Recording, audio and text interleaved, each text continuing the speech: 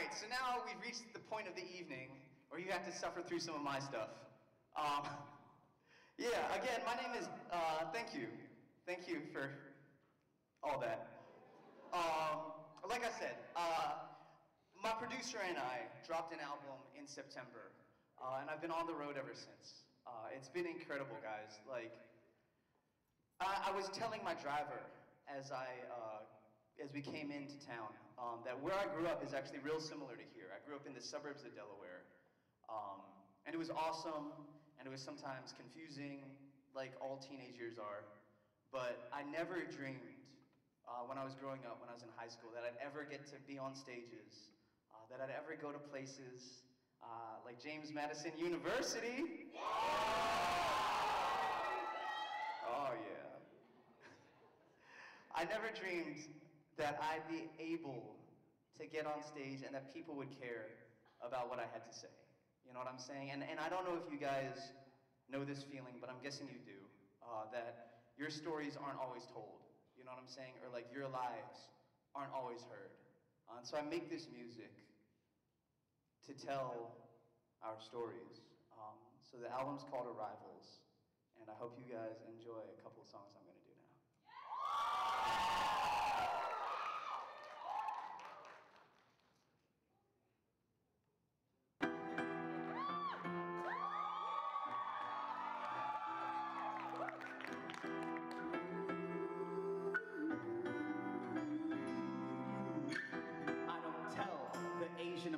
story. I tell our American stories in the hopes that one day the people will see glory. Do you feel me? Cool. But if any one of these words breaks through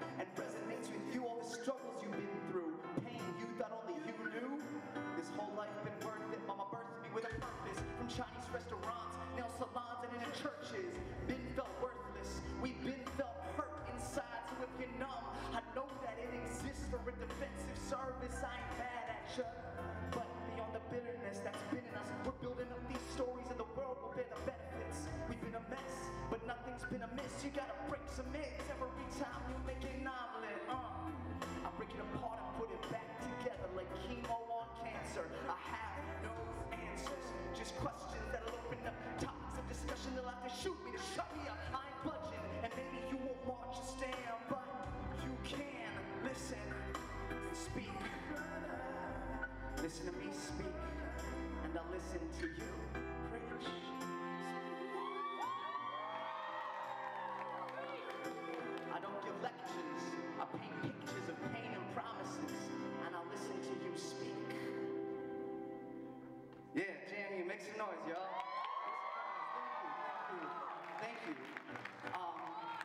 so yeah, so you know, so uh, I make this music because I realized, so I, I, grew up young Chinese man in Delaware. Uh, I grew up listening to hip hop. You know, so do, you, uh, do any of you guys mess with hip hop music? Yeah!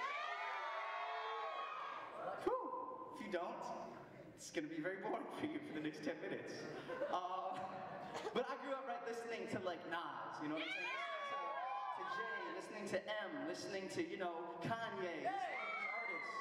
Uh, and I had no idea what the in Brooklyn looked like. You know what I'm saying? I had no idea what it was like to be a poor young white man in Detroit, but through their music, I got to experience a point of view and a lifestyle that wasn't my own. And that's what I love about music. So now I make this music uh, to tell our stories, right? Because I realized, and half of it is to empower our people to realize that our stories matter. Um, half of it is to share the joy, right? Like, like th this next song is about my grandma. Do you, yeah. Do you guys got grandmas? Yeah. Not. You are Jesus. Um, no, like you know, like I love my grandma. She actually lived uh, in, or lives in Bethesda, Maryland. Yeah. Like, um, so I would come down to Virginia every holiday, uh, and the holidays to me growing up meant a visit to Grandma's Kitchen. Um, so we can play that next one. Uh, this song is off the album. It's called Grandma's Kitchen.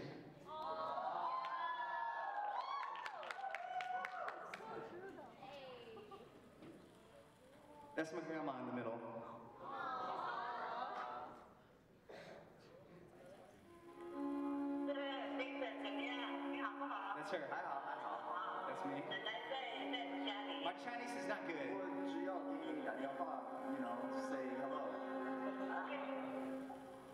This is Grandma's kitchen. Pictures of the grandkids we was infants. A herbal medicine for every symptom, from indigestion to bad intestines. No need to test it. Grandma suggests it. My family's dressed fashionably. Forget Paris. Our style comes from PhDs. I mean, cell phone holsters, polos, jeans,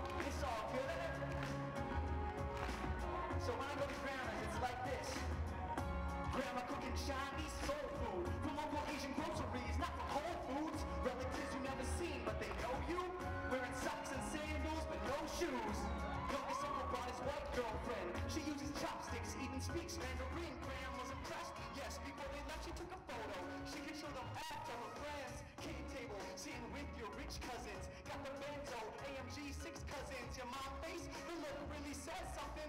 Harvard just accepted you're really smart, cousin. There's beef, duck, and fishes, various conditions and melamine dishes. Fam come together, it's always delicious. We learned that inside of Grandma's kitchen. Clap!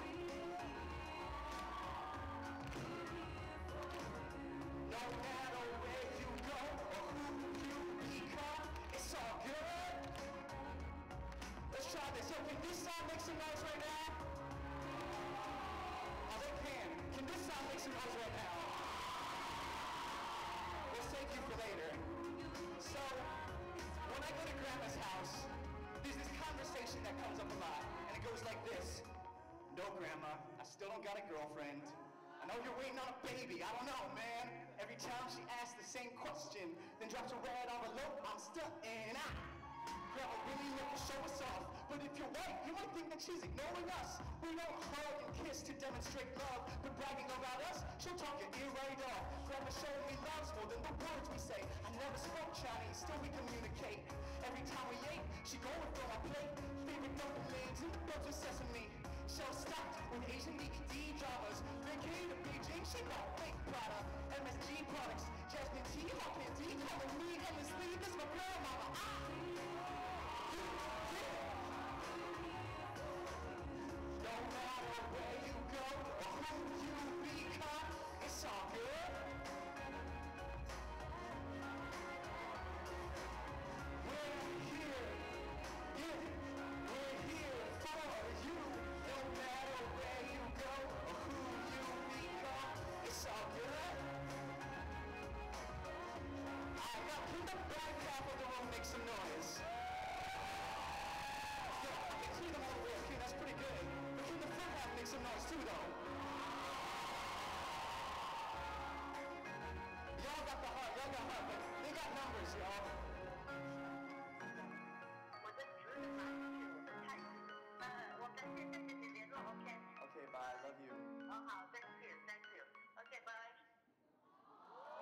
Thank you, thank you. Make some noise for my grandma one time.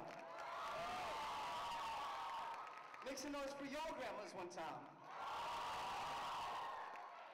Yo, they've been, yo, it's wild to me, dog. Every single Asian grandmother and grandfather has seen a war. You know what I'm saying? Like, that's why, like, I was walking around Korea three days ago, and I was looking and I was just thinking, man, every old person I see around me has lived through a war. You know what I'm saying? Like, everybody over the age of like 45 that I see around me remembers what it was like to have a dictator, like, in charge. You know what I'm saying? So, shout outs to the grandparents because they've been through a lot so that we can come through a lot. You know what I'm saying? Yeah. True. Um, so I wrote that song, and it's funny, right? Because uh, she ends kind of cold. She's like, "Oh, thank you." Um, so I, I was in the recording studio, and we were wrapping up recording Grandma's Kitchen, and my producer and I was like, "Oh man, all right, so uh, no, we should call your grandmother, like you know, get a record, you know, like." So I was like, "Okay." So I called her, and then that was the conversation you heard. Um, but usually, and, and usually, uh, she she ends our conversations with like, "Oh, Jason, I love you. You know, God bless you. Like, take care. Goodbye." This time she's like, "Ah, thank you. okay, okay." And then she called back two hours later. So it was like 10 p.m. in LA. We were wrapping up the studio session, and she called me back. So it was like 1 1 a.m.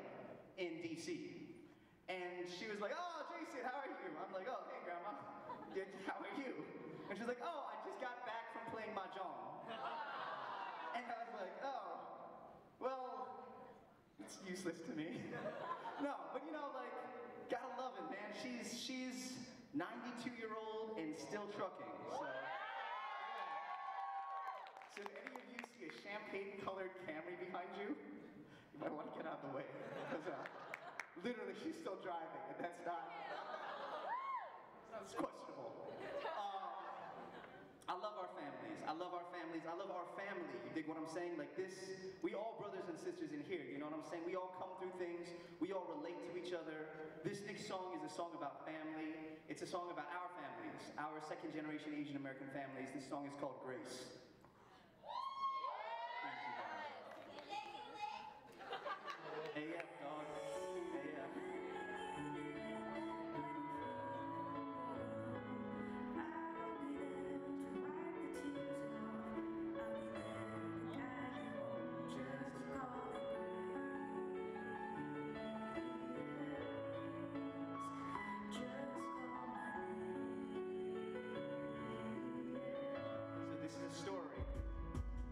She was born to two parents, immigrants with little left, left a war-torn country full of suffering and death. Mom and dad working so hard to pay the bills and pay the rent, barely even spoke the language, so at night they went to class, living in a small apartment in a bad part of the town. Mom got mugged outside the door. The criminals were never found. They slaved away because they saw the promise in tomorrow. Hope the generation after would grow up without the sorrow.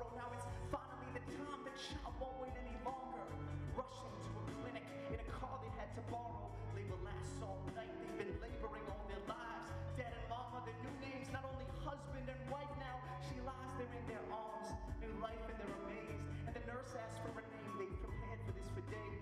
Her name provides a clue to all the stories on her page. It was Grace.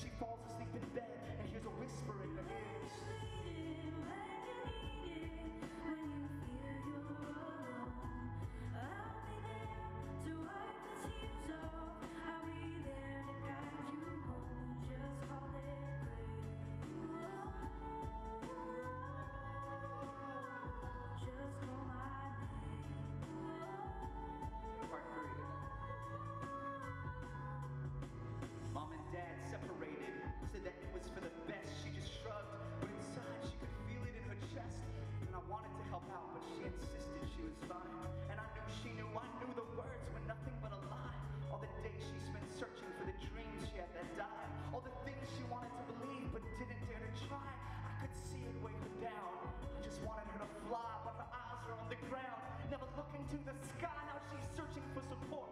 And she gave everything a try. Dated guys who were good to her and started getting high. Her body was alive, but her soul barely survived. Then one day in her room, she heard a deeper voice inside that